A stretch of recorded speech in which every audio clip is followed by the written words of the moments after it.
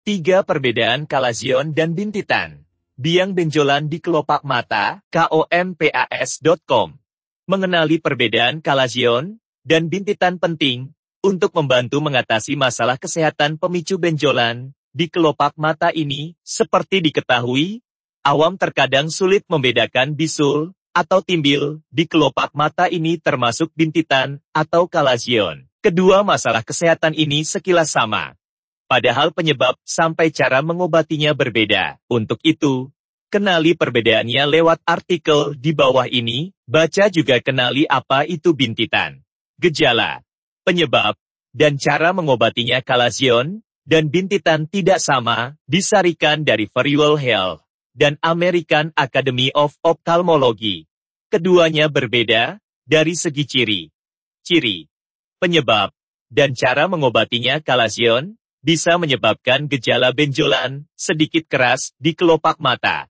Tapi tidak sakit, benjolan ini terkadang membuat mata merah, dan kelopak mata sedikit bengkak.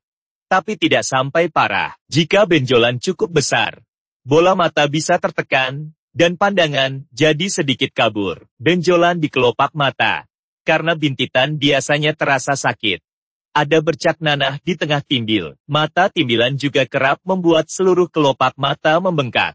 Mata terasa mengganjal, gatal, berair, dan sudut mata berkerak sampai terkadang membuat mata susah dibuka. Baca juga kenapa bintitan tidak sembuh. Sembuh.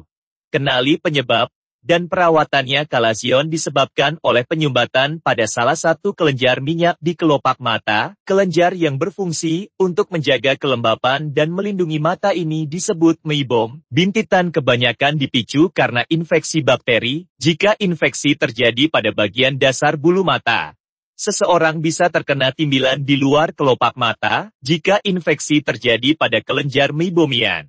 Seseorang bisa terkena hordeolum atau timbil, di dalam kelopak mata, baca juga tujuh cara mengobati mata bintitan dengan cepat kalasion tidak memerlukan obat antibiotik seperti pengobatan pada mata timbilan atau bintitan. Cara mengatasinya cukup dikompres dengan waslap atau handuk kecil, hangat. Jika benjolan di kelopak mata cukup besar, dokter biasanya baru menganjurkan suntik steroid. Dokter biasanya meresepkan obat bintitan berupa salep atau krim antibiotik. Selain itu, terkadang penderita juga diberi obat tetes mata untuk membantu membersihkan kelopak mata. Di luar itu, penderita bisa menggunakan kompres hangat untuk mengurangi bengkak benjolan di kelopak mata. Baca juga bukan doyan mengintip. Ini tujuh penyebab bintitan setelah menyimak penjabaran kalasion VS hordeolum atau bintitan di atas.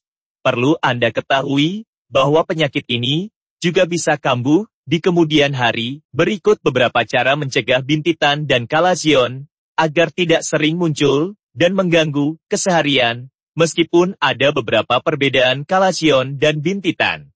Sebagian besar cara mencegah masalah kesehatan, biang benjolan di kelopak mata ini, utamanya, dengan menjaga kebersihan area seputar mata, baca juga mengenal kalasion. Benjolan di kelopak mata tapi bukan bintitan jenis mobil apakah yang menggunakan dua mesin penggerak dengan bensin dan motor listrik. Dapatkan total hadiah Rp5. 0. 0. Untuk 10 orang beruntung dengan mengikuti kuis otomotif berikut ini, berikut ini, yang merupakan kelebihan dari kendaraan listrik. Kecuali, apa nama bahan, bakar dari Pertamina Ber, Oktan 92. Pada tahun berapakah Robert Anderson mengembangkan mobil roda tiga menggunakan baterai listrik? Apakah kepanjangan EV yang biasa digunakan dalam mobil listrik? E. Mail isi data dirimu, untuk keperluan pendataan, dan pengiriman hadiah ya no, handphone, nama lengkap provinsi domisili kota, atau kabupaten domisili tahun lahir, apakah Anda sudah terlindungi, dengan asuransi? Jenis perlindungan apa yang Anda butuhkan? Terima kasih atas partisipasinya.